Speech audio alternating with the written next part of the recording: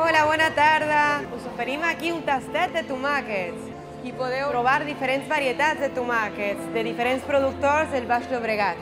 Una mica aquí l'idea és promoure uh, el consum de proximitat. Estem aquí just al costat del mercat de pagès, on teniu pagesos que estan venent els seus productes. Encara que Catalunya és un país de tomàquet, cada vegada estem produint menys tomàquets. Hem perdut en 7 anys l'equivalent de 40% de la producció de tomàquet.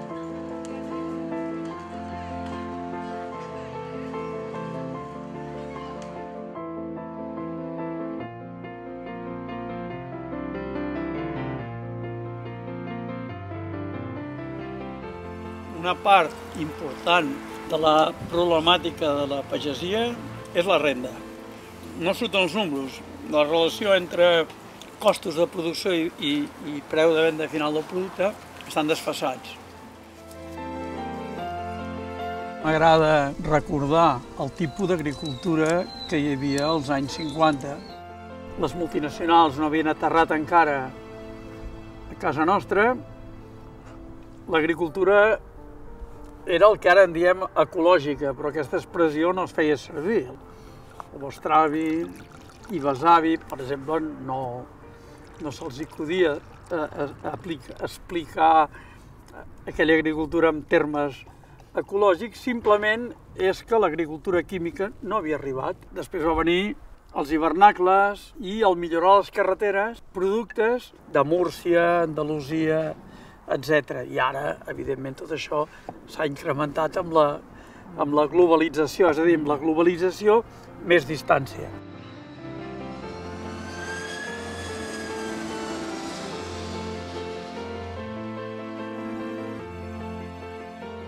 En aquests moments la pagesia està passant uns moments bastant delicats. Eh, el que més costa és tenir unes infraestructures que, que siguin adients a la feina que estem fent. Eh, no tenim el suport de l'administració en temes com l'és l'aigua, l'energia ha pujat molt, eh, els adobs, la mà d'obra també, i tot això, quan un producte el portes al mercat amb aquests costos afegits, doncs, eh, ha de tenir un preu determinat i llavors el mercat, que és el central, que és el que nosaltres subministrem el producte, doncs eh, està molt col·lapsat amb, amb, amb gènere d'altres llocs. En els darrers anys hem perdut l'equivalent del 40% de la producció catalana de tomàquets. Això vol dir que entre el 2000 i el 2012 han desaparegut 700 hectàrees de tomaqueres. Però on trobem la, una de les raons més, més importants d'aquesta crisi? La trobem al model de distribució. I si pensem al model de distribució, hem de parlar de Mercabarna.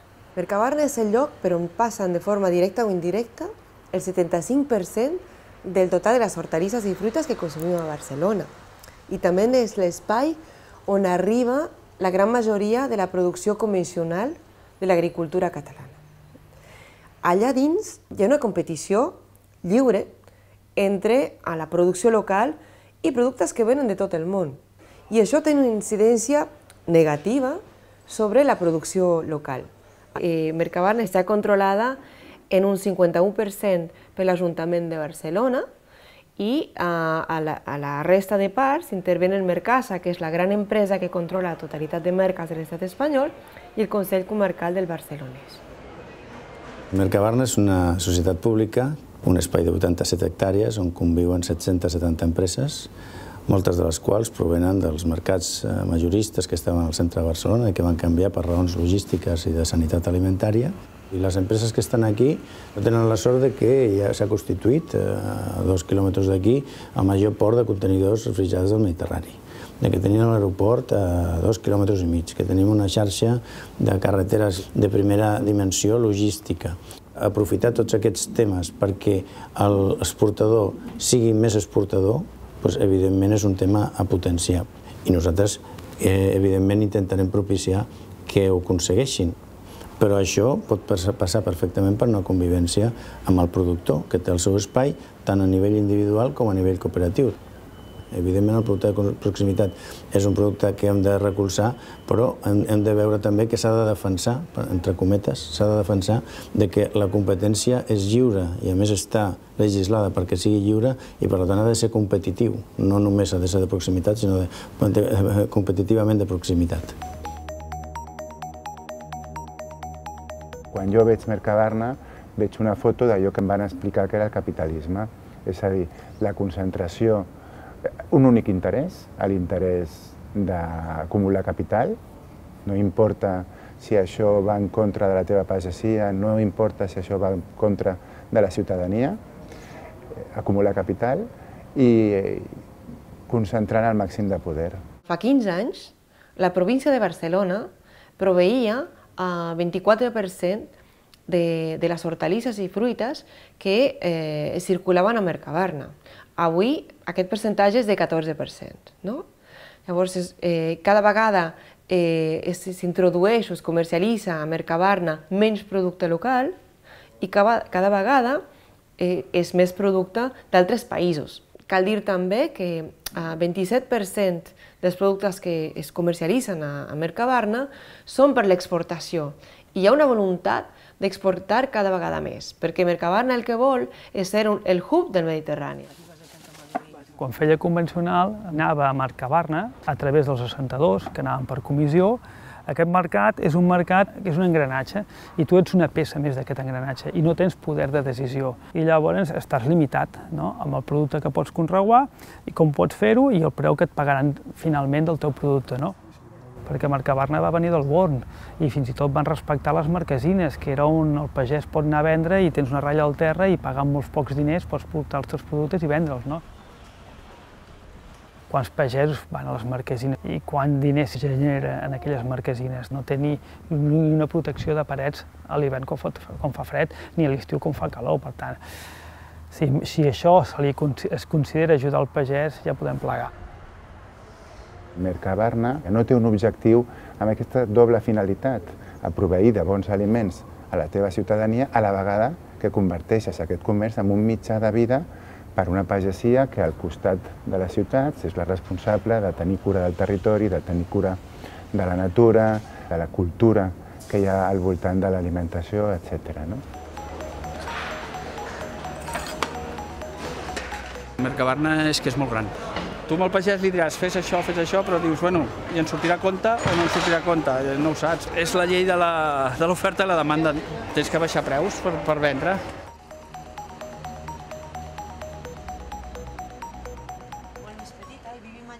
La masia és des de, del segle XVII. L'explotació té unes, unes 20 hectàrees. Per fer viable l'explotació fem d'alguns cultius més quantitat i entrem a dintre Mercabarna i veure com funciona. Què passa? Jo deixava el producte meu allà perquè es vengués, però com teníem botiga al mercat municipal, també en unes hores era comprador dintre Mercabarna. Què passa? Jo com a pagès eh, veia com se m'estava venent el meu producte, el, en directe. Aquell producte tan estimat meu, que el preparàvem tan bé aquí, que el cuidàvem quatre mesos o que el cuidàvem el temps, veia com el tractaven allà i el preu final que tenia. Llavors, clar, sorties amb els cabells, pam, amb una depre total. Aquí és on et va fer veure de que fer més producció no volia dir més diners fer més producció en aquest cas era perdre més diners entrant a Mercabarna, entrant a la, a la selva de Mercabarna i coneixies els assentadors i ho sabies tot perquè tu eres comprador en unes hores. I llavors aquí és on et van convèncer a que el camí que els meus pares havien fet de venda directa al mercat, al mercat era un de continuar. I el problema que té Mercabarna és que té els dies comptats com l'entenem ara, el Mercabarna, i ara el volen refer tot de dalt a baix, no? però està clar que serà, serà un punt de, de, de càrrega i descàrrega per a les grans cadenes alimentàries. Perquè, per exemple, l'estiu s'omple de tomàquet d'Holanda al mercat, i que és quan nosaltres tenim la producció més forta. Llavors això el que fa és baixar el preu perquè el mercat es satura. Llavors nosaltres quan és, representa que tenim la millor producció és el temps en què va als preus més baixos. Si bé al 2004 uh, la importació, la gran importació va provenir d'Alemanya, de, De forma constant, el que s'ha mantingut és una importació des de Holanda.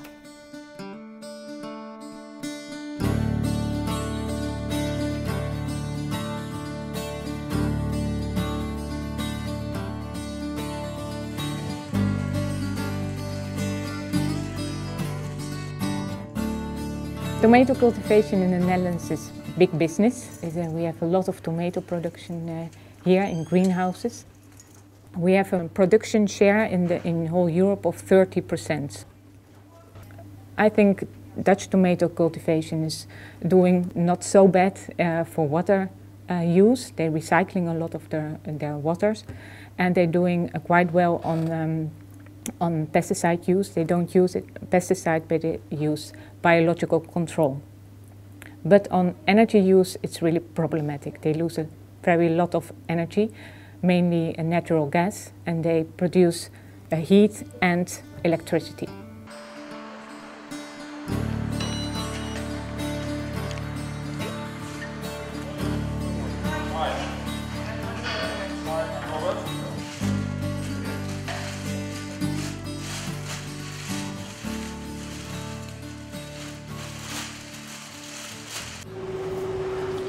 Is one of our greenhouses. This greenhouse is 9 hectares. Uh, in the winter it's 200,000 plants and in the summer it's around 450,000 uh, plants. Uh, the plant comes in on this little block of rock wool and each plant gets its own water through this system, a dripping system. Uh, the plant gets a rope around its neck and the rope goes all the way up to the top of the greenhouse and the plant starts growing. It grows 30 centimeters every week.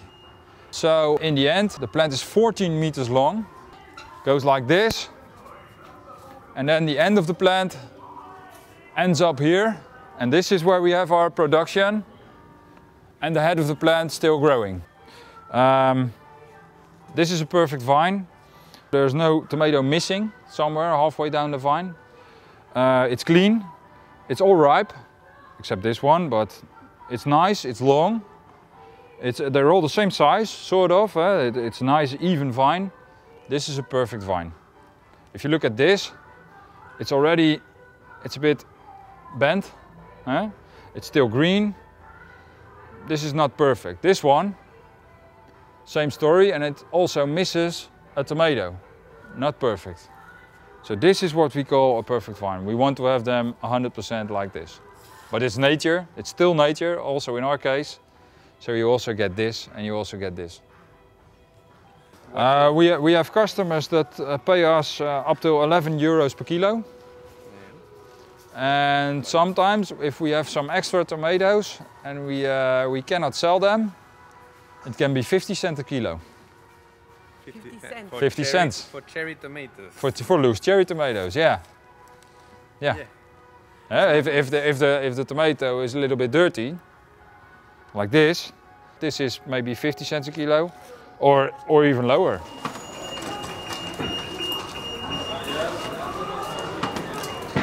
This is not Dutch. No, It's not written in no Dutch. that's right. That, that's Polish. Po- Polish. The people, our workers, are mainly from Poland. Ah, No, some, some of them are here for only a few months. okay.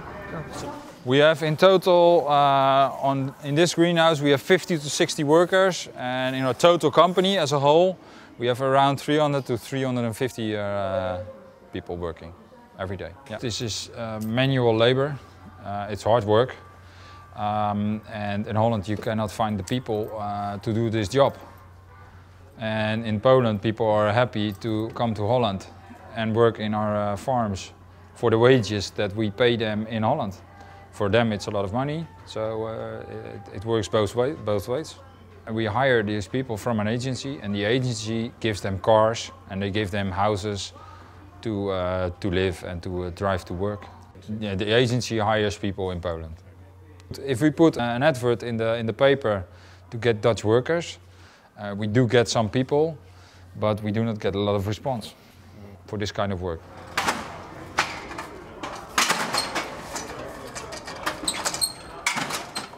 We have a big gas engine, 6,000 horsepower. We cool the engine with water And the water we use in these pipes to heat our greenhouse. So we put a generator next to the uh, engine and we make electricity. We can use it for our own lights, but if our lamps are not uh, on, we uh, can sell it to the grid. 40 years ago, if you were a good tomato grower, you were fine. That was it. But now you have to be uh, um, uh, somebody who can sell electricity. You have to be a manager because your company is bigger and you have a lot of people working for you. So you can imagine that not everybody is capable of being that kind of, uh, of tomato grower. So the number of tomato growers drops and the volume per tomato grower goes up. Dubbel voordeel bij Trekpleister. Nu 2 plus 2 gratis op het hele assortiment van DAF. About 40,000 employees working, 30, 40,000 employees working. They want to produce cheap, so they press on the work. The, the, the press, pressure on the workers is bigger and bigger and bigger, of course. Exploitatie is, het, is, het, het, het, het, blijft, het blijft natuurlijk, uh, uh, medewerkers die worden, die worden gewoon uh, zeg maar gebruikt. En als je, als je niet kan hard werken of niet aan de uren komt aan het eind van de week, dan, dan, dan ben je niks. Betaalt dan de man. Ze worden gewoon gekeken als, als, als, als, als een hulp, zeg maar, die gewoon aan de familie helpt. Maar terwijl dat niet zo is, zij werkt gewoon niet als een man. Uh, gewoon hele dagen van, van 7 tot, uh, tot 4 uur. En na een paar jaar, ik heb gezien dat, dat ja, veel, veel dingen is niet goed. Dan eerst, dat is mijn salaris. En dat is niet conform met CAO. En ik heb gevraagd over, over die over die salaris, waarom is niet goed, waarom die andere dingen zijn niet goed. En ja, en heb ik uh, ja, zoveel, alleen zoveel problemen gekregen. En uh, op dit moment ben ik mm, bezig met die kuur bij, bij psycholoog en psychiater, want ja, dat, dat gedaan mijn werkgever tegen, tegen mij. If you are 23, you have to earn about 11 euro, 12. But the greenhouse bosses, they don't want to you climb in your scale, because if you climb in your scale, it's 25% more expensive than if you stay here. So what they do, they mainly hire you for the most three years and then they fire you and they start again with a new, uh, a new, new uh, employee. Op dit moment mijn bruttoloon is uh, na acht jaar uh, mijn bruttoloon is uh, ja, 9 euro 8 cent. Vooral in de zomertijd, als het echt warm is, dan zit je gewoon de hele dag boven op de dek de, de zon tegen je aan. Uh, er zijn uh, tuinders die gewoon voor water zorgen. Er zijn tuinders die, geen, die zorgen niet voor de water, enzovoort. En, en, en, dat, gaat, dat gaat natuurlijk de kosten van, van, van de uren van, van, de, van de vaste medewerker. Dus in plaats dat hij gewoon over de uren draait in de zomertijd of in de wintertijd, komt een scholier die voor 5 euro per, per uur bijvoorbeeld werkt.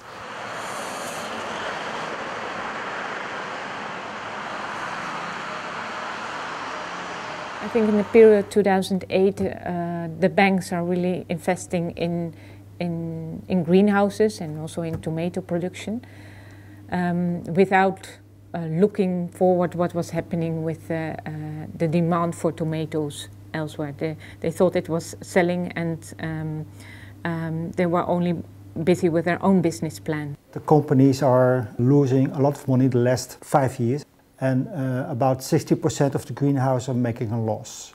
The bank is getting a, a, bigger and bigger and bigger problem because they need more money and more money and the bank is giving it because the bank is not uh, capable to sell the companies. Uh, the companies are uh, on this day 20% uh, of the worth they were uh, about six or seven years ago. So if the bank sells the companies, the bank lost a lot of money.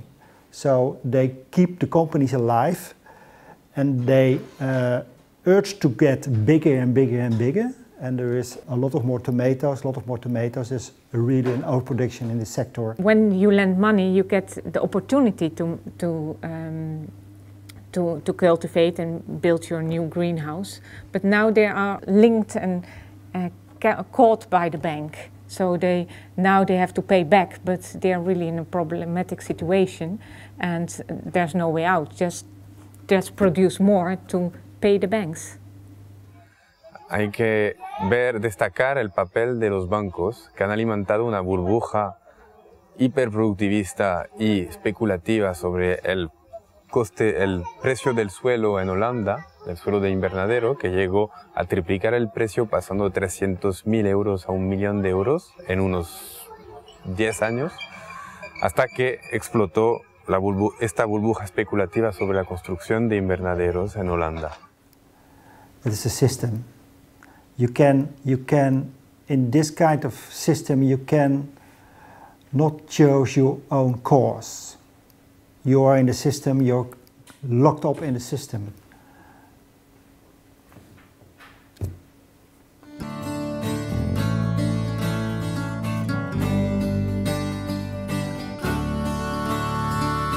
Quan penso en els tomàquets que venen d'Holanda, em recordo d'aquella història, fets reals, que explicava el Pierre Rabí, un pagès, que viu a, un pagès argelí que viu a, a França, d'un terrible accident entre dos camions, no? un xoque frontal, un camió que pujava des de Perpignan cap al nord d'Europa i un camió que baixava d'Holanda cap a Perpignan. No? I amb aquell xoque frontal, les dues mercaderies dels seus camions cauen per terra i el que es troben és que són tomàquets barrejats amb tomàquets. No? Els dos camions portaven tomàquets. No? Aquesta és la bogeria de la globalització alimentària. No?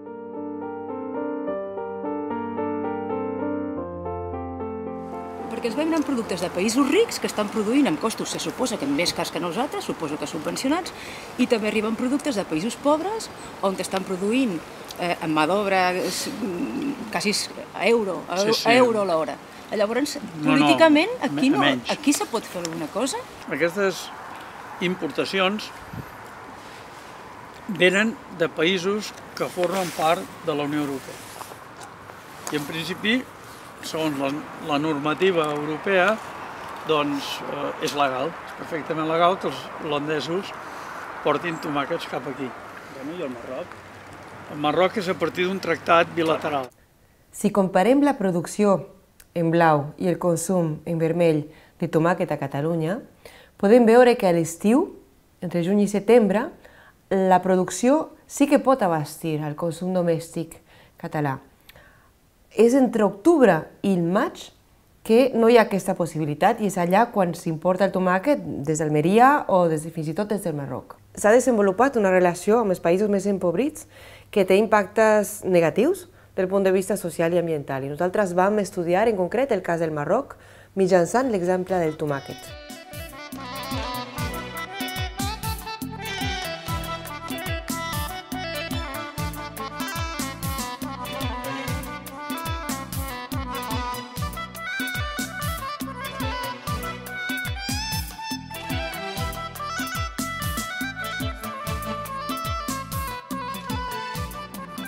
Maroc a adhéré au début des années 90 à l'Organisation mondiale du commerce, c'est-à-dire qu'on ouvre toutes nos frontières à l'extérieur et que nous, ce qu'on exporte, est vraiment, euh, a vraiment beaucoup de problèmes et d'obstacles par rapport à l'accès au marché, surtout pour les produits euh, agricoles. Le secteur agricole a bien absorbé d'énormes investissements, mais que il n'a pas contribué à cette valeur ajoutée qu'on attendait et qu'on devrait avoir des, des, devises, etc. Au contraire, l'endettement du Maroc s'est accentué, la balance commerciale agricole s'est détériorée à tel point qu'aujourd'hui, on n'arrive même pas, les exportations agricoles ne couvrent même pas 40% des importations agricoles le Maroc a perdu sa souveraineté alimentaire d'abord en termes de couverture de son alimentation et qu'il dépend des grands, de la spéculation internationale dans les matières alimentaires et et que les petits agriculteurs sont laissés au hasard et qu'ils n'ont plus la possibilité de choisir ce qu'ils veulent produire.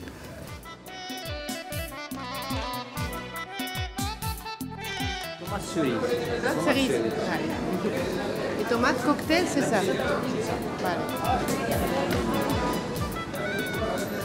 La région du Souss-Massa, c'est une région où se concentrent le- les grands investissements de primeurs.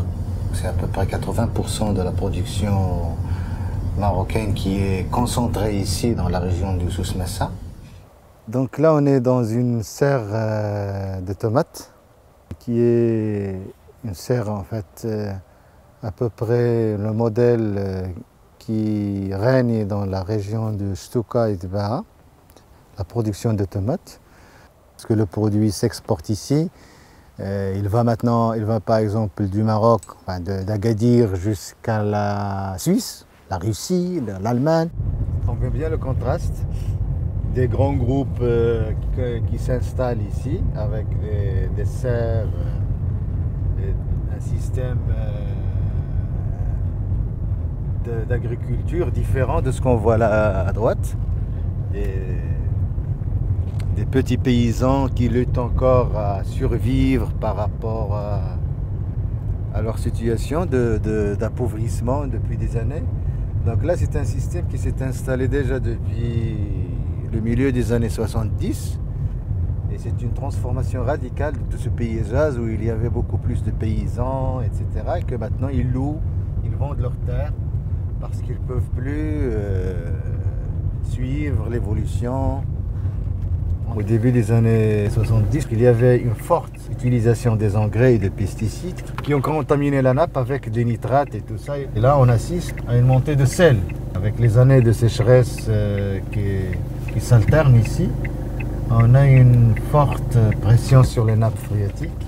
On a eu des conflits, de grands conflits avec des entreprises euh, aussi bien marocaines que étrangères. C'est un point qui nous fait mal parce que on considère que des gens qui, ont, qui sont venus des, pays un peu développés, pays développés, donc et ça suppose qu'ils respectent la dignité humaine, qu'ils respectent le droit de travail, qu'ils sont là pour faire leur production, leurs bénéfices, mais aussi pour produire la richesse, c'est les ouvriers agricoles. Même ceux qui arrivent ici, ce ne sont pas des agriculteurs, c'est des, industriels et des spéculateurs qui arrivent et qui investissent dans le secteur agricole sans aucun cahier de charge. Normalement, ils devraient avoir un cahier de charge, point de vue pour respect l'environnement, le respect de la nappe phréatique, le respect enfin, des sols, le respect de- de- de- des droits des ouvriers et tout ça. Déjà, on souffre d'un déficit hydrique important et on nous laissait rien, euh, la nappe euh, à sécher, les sols usés, du plastique et du déchet partout qu'on ne pouvait pas recycler. Donc, on a un problème de déchets dans la région qui sont vraiment alarmants. Et donc, euh, on nous va nous laisser une population pauvre. Et toute une infrastructure détruite, même pas des routes, même pas des hôpitaux, même pas des écoles, même rien. Donc là, on voit bien que c'est un modèle destructeur en fait. Donc euh, dernièrement, nous avons un conflit avec euh, Fruca, le groupe Fruca espagnol, qui a une entreprise qui s'appelle Dona Export, qui produisent du poivron. Ils ont fait beaucoup de manœuvres pour affaiblir le syndicat et pour licencier donc tous les syndicalistes. Actuellement, on vit un conflit grandiose avec Soprofel. Euh, donc, euh, près de 3000 ouvriers donc, et ouvrières ont perdu leur emploi pendant, euh, pendant trois mois dans une entreprise qui produisait et qui était rentable. Et ce conflit est dû aux différends entre deux associés, un français et un marocain. Et le patron français qui est le plus, le, plus négatif vis-à-vis de- son comportement avec le syndicat. Il vient, il prend la terre, il investit tout ça, il ne paye pas d'impôts. On ouvre la porte à ces investisseurs pour venir piller, comme ça, les richesses et qu'ils les exportent et que nous sommes contrepartie.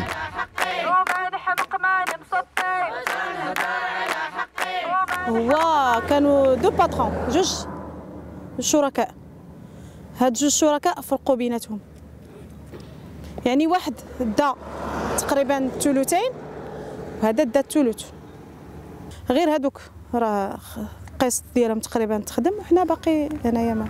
عليك يا مغرب السكنة بالصيرات والموتى في سبيطارات آه، شركة سوبروفيل. كتصدر مطيشة الكونطالو آه، الخوخ الشهديه التمر الكورجيت فوالا.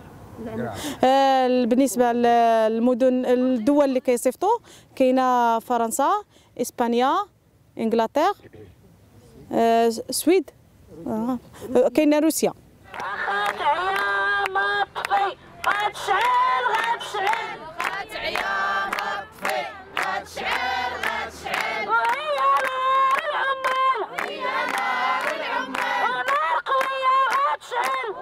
قوية غتشعل ويا عمال يد في اليد وحدتنا لازم تصمد ويا عمال يد في اليد وحدتنا لازم ويا عمال اليد وحدتنا لازم تصمد ويا عمال وحدتنا لازم ديالنا هنا في سوبروفيل آه، دامت آه، نف موا تسعة شهور تسعة شهور هنايا. آه، المهم كانت النضالات ديالنا كان اعتصامات كان مبيت. سكن هنا. آه، جينا جينا فاش الحوار الأخير قال لك حنا ما عندنا ما نديروا لكم. يعني ما كاين ما كاين حل. حنا ما عندنا فين نخدموكم ما عندناش. قلت لي راه حقوقنا. قال لك لا حنا ما عندنا ما نديروا لكم. دابا دبروا راسكم سيروا شوفوا فين فين ت... قلت لي لا عندك انت ما عندكش ما دير ليا أنا عندي ما ندير معاك. جينا هنا. المهم كان عقبات. فوالا ياك هكا نيت. بالرشوة بالرشوة. الرشوة الرشوة الرشوة بالرشوة بالرشوة بالرشوة بالرشوة الرشوة الرشوة الرشوة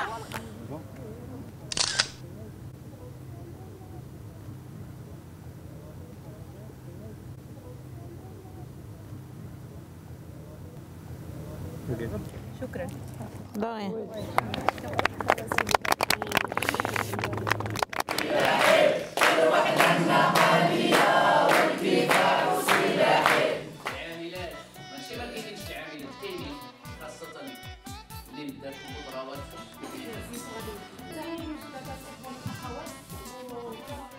العمل النقابي اللي ولا كي يعني موفر لنا بزاف د الحوايج اللي كنا كنعانيو منها اللي هي النقص في الاجور النقص في الاجور والضعف في الاجور اللي كنقولوا اللي كان هو السبب الرئيسي في بزاف د الحوايج عندنا في المغرب On a euh, donc sensibilisé tous les intervenants de la gravité de transporter les gens par des camions et par des tracteurs. C'est une, c'est une chose indigne. Donc c'est deux heures à trois heures de trajet par jour. Et c'est dangereux, ils se renversent souvent. يعني. كنركبوا في الترونسبور الرجال داخلين في العيالات يعني داك الشيء اللي كي... كيخلي الرجال يعني كيتحرشوا بالنساء لأننا كنمشيو لاصقين مع مع بعضنا آه بالنسبة. هذه من طرف العمال بالنسبة للتحرش الجنسي من طرف آه آه المسؤولين يعني هو داخل الشركة يعني الباترون كي... كيتحرش بك إلا ما كيقول لك إلا ما لبيتيش يعني الطلب ديالو اللي بغى كيطردك يعني وقفنا يد وحده وتضامنا مع بعضنا وما بقاش هذا هذا هذا المشكل يعني ما بقيناش كنعاني منه On lutte pour une stabilité des travailleurs dans leurs entreprises, pour qu'ils soient payés mensuellement, pas par heure. Et c'est là qu'on pourrait donc avoir un paiement du septième jour de la semaine, parce qu'actuellement, ils sont payés le nombre de, jour- de journées qu'ils ont travaillé. العامله الزراعيه حنا كعاملات زراعيات كنعانيو بزاف كنعانيو آه، من من من المجتمع ديالنا والحيف القانوني اللي كاين ضد المرأة في المغرب. يعني هذا في حد ذاته كت- كتستغلوا الباترونة والضعف ديالنا ك يعني كعاملات زراعيات كنساء. هذا كي كيحاولوا ال- الباترونة أنهم يستغلوه. بالنسبة للأجور يعني كان يعني وا- 63 درهم ماشي راه ثمن كافي باش أنك تعيش ستة ديال الأطفال أو سبعة ديال الأطفال. بحال دابا المرأة اللي كتكون خدامة في ليسير ويبقى يترش عليها الدواء. مدة واحد المدة كتولي المرأة كتعاني من مرض ديال الضيقة اولا ما نقولوا ضيق التنفس. وهذا كله راجع يعني التهاون اولا ديال ديال الباترونه في هذا الشيء. لأن كتكون عاملة خدامة وما كيقولش لا هذا الإنسان راه إنسان ما كيحسبهاش حتى كائن حي. التجئنا للتنظيم النقابي والتواصل مع ال- الهيئات الحقوقية والتنظيمية الجهويه والمحليه ولما لا الوط... آه، الدوليه باش يترفع علينا هذا الشيء هذا الحي هذا الحيز Il y a des échanges, il y a des, des- de la collaboration avec des, des organismes euh, au niveau international, tels que la Via Campesina, tels que la FNV, tels que Fairfood, tels que la CGT. Ça nous a permis aussi, à un certain moment, donc, de faire des propagandes contre des entreprises qui, qui répriment les ouvriers. Et on a eu gain de cause pas, pas mal de fois.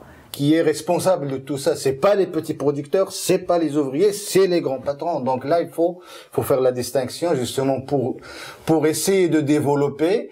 Et ce modèle-là, il est prôné par exemple au niveau européen par l'Union européenne. Et l'Union européenne fait des accords de libre-échange avec le Maroc. Et nous, on lutte contre les accords de libre-échange. Et donc là, il y a plusieurs thèmes où on peut développer des solidarités et des travail en commun avec euh, voilà, les, les consommateurs, les petits producteurs et les ouvriers ouvrières des différents, enfin de, de, de la part des deux rives euh, de la Méditerranée au moins.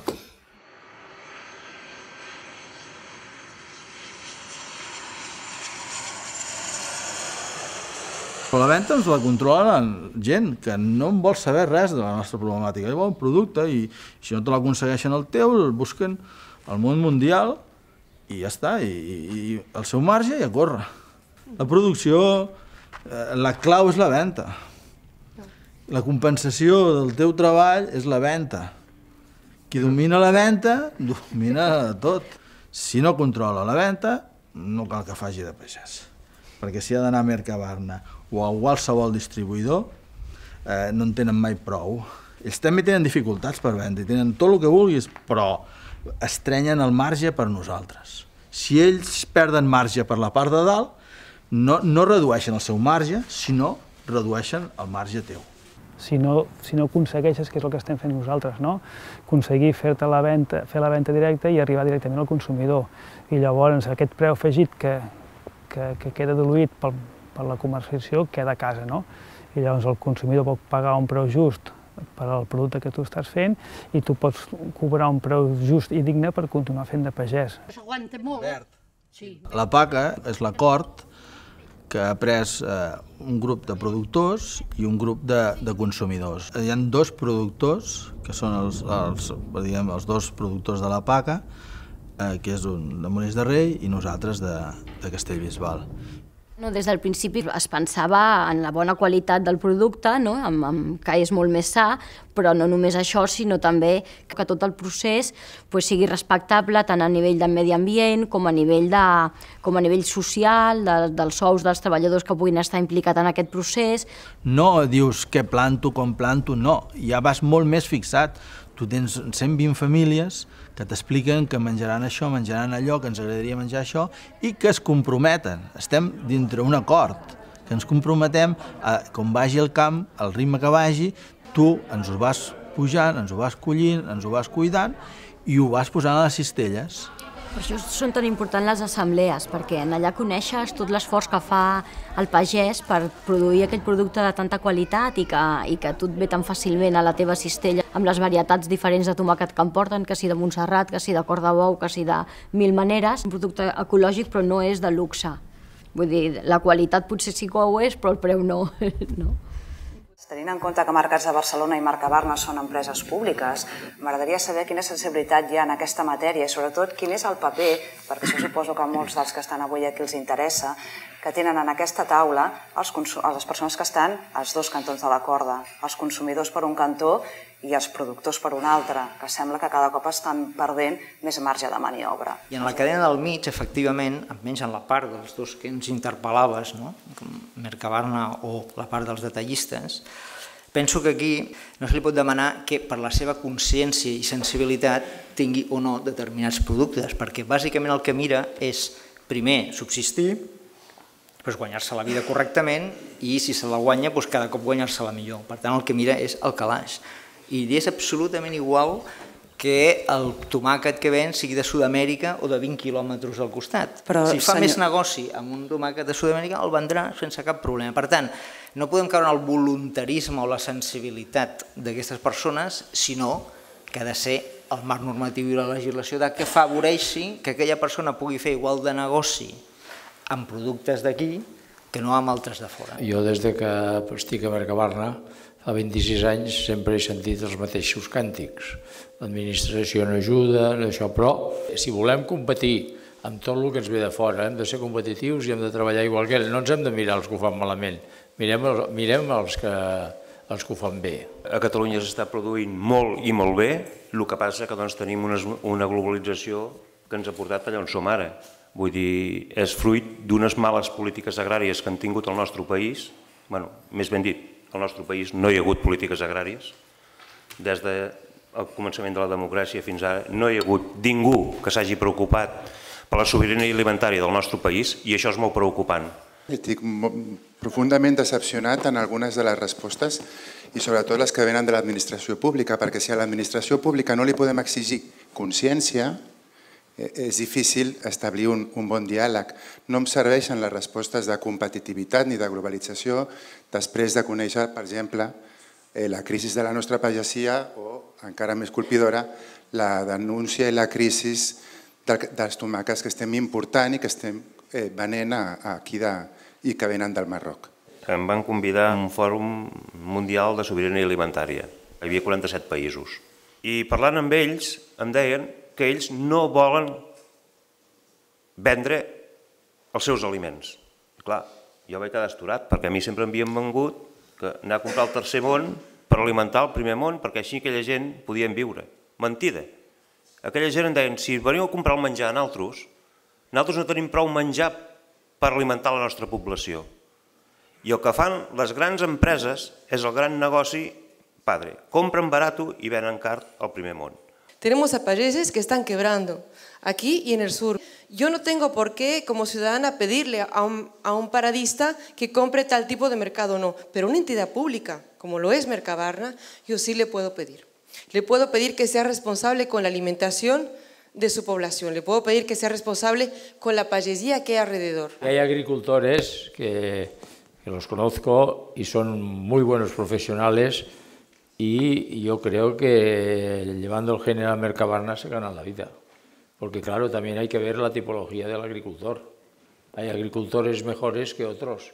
Hay agricultores especialistas que saben, mm, tienen la chispa de buscar el producto adecuado que requiere el consumidor. Entonces, eh, a estos no les asusta ir a Mercabarna. Al que le asusta es el que, bueno, porque por razones de edad o por ciertas otras razones, pues bueno, cultiva por cultivar algo, pero no, no pone ningún valor a, a, añadido a todo esto. Y entonces, claro, este agricultor dice, oh, es que en Mercabarna no se puede llevar nada. Jo crec que Mercabarna eh, està desfasat del sector agrari, per començar. Vull dir, perquè quan un pagès entrega el seu producte, no sap si el vendrà o no el vendrà. Els assentadors el poden portar al banc dels aliments, però el pagès no cobrarà res. I la sanció fiscal va pels assentadors. Clar, mm, quan tu vas a vendre el teu producte i no saps el preu que el vendràs, malament rai. Vull dir, estem, estem desfasats. Si Mercabarna no funciona, no hem de muntar un de nou. No sabem on hem d'anar al sector agrari. No sabem si hem de plegar, no sabem què hem de fer, no sabem de què hem de produir. Si no fem un pla a 30 anys i hem, en línia recta i hem, hem d'anar allà, hem de produir això, hem de produir això, hem de produir això per mantenir la nostra població, estem morts.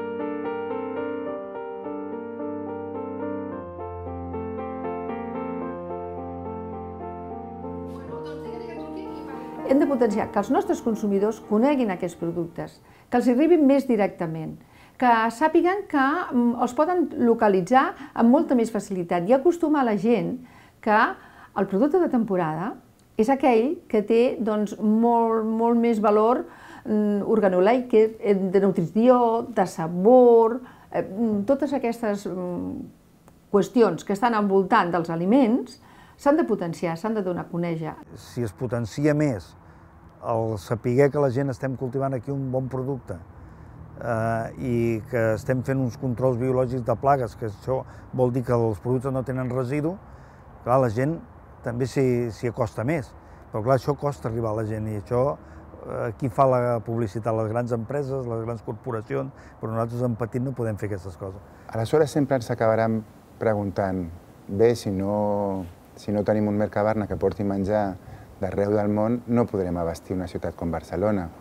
Eh, en, aquest, en aquests moments això és així, però estem parlant de transicions, estem parlant d'una transició cap a la sobirania alimentària. Ens hem de plantejar l'alimentació la, eh, amb la idea dels cercles. Tot allò que tinguem a un quilòmetre hem d'anar a buscar-ho amb 10, i el lloc que no tinguem amb 10 doncs haurem d'anar a buscar el 20.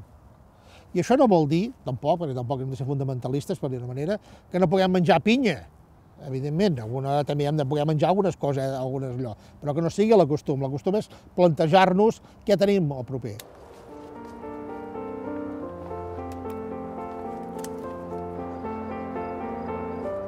Nosaltres que vivim en una, zona, en una zona rural, en el nostre cas al Pirineu, la importància que té la, la petita pagesia per dinamitzar aquest entorn, perquè es mantingui viu. I és molt més important que el, del que ens imaginem, molt més. No és només una qüestió de que aquell romanticisme de voler mantenir un ofici que fa molts anys que ha estat en aquest lloc i que a més a més manté un paisatge, sinó tot el que significa a nivell de vertebrament, diguem-ne. Fem la llista dels plans sectorials que hi ha a Catalunya. Hi ha plans sectorials de tot. A l'agrari no. Per tant, com és que el tema agrari no té ni pla sectorial ni una llei pròpia. Si estem parlant per què no ho estem fent a casa nostra, per què els polítics no ho fan, és per una qüestió de voluntat. De voluntat, perquè sí que tenim un marc que ens regula, evidentment, però tenim, evidentment, moltes llibertats a l'hora de fer-lo sense trencar amb aquest marc. Tu pots ser molt més conservador en aquest sentit. I igualment, encara que tinc un mercat obert, jo puc fomentar una política de, de comerç de proximitat i de producte local. I no estic contradint res de tot això. Al contrari, estic afavorint a la gent que és d'aquí, que vol viure aquí, o la gent que no és d'aquí, vol viure aquí, vol treballar aquí que la clau de volta no és anar a votar cada quatre anys, sinó què fas tu com a ciutadà durant aquests quatre anys, és a dir, entre eleccions i eleccions. No n'hi ha prou delegar en uns representants nostres, sinó que, a més de delegar, eh, ser actius durant els quatre anys que duri el seu mandat. Conclusió, mm, sols aquest 0,8% de pagesos i a més a més envellits, no tenim força per canviar gaire gran cosa. Ara, comptant amb la resta de la societat, doncs aleshores podem canviar el que vulguem.